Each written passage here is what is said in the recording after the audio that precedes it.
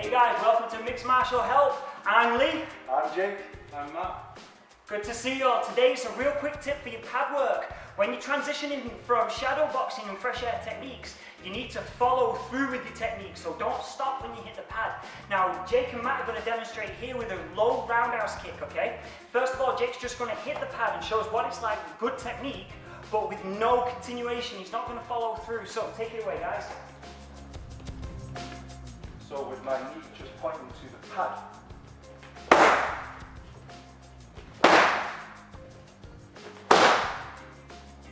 Nice, great, great. Okay, so you can see the technique is there. He's stepping, he's pivoting, he's turning his body, he's got his guard, but the technique stops with the pad. You have to go through the pad, so you don't just hit them, you hit through them. So let's see the difference now when he steps through and kicks right through that leg. Take it away, guys. Okay, just 50% of the effort.